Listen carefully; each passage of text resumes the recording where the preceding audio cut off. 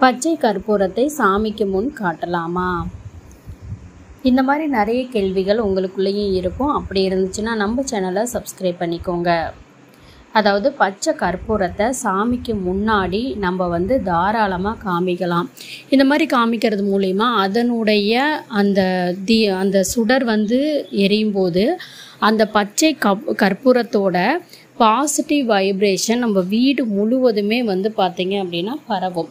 அதனால வீட்டில் எப்போதும் பாசிட்டிவ் திங்கிங் தான் வந்து அதிகமாக இருக்குங்க.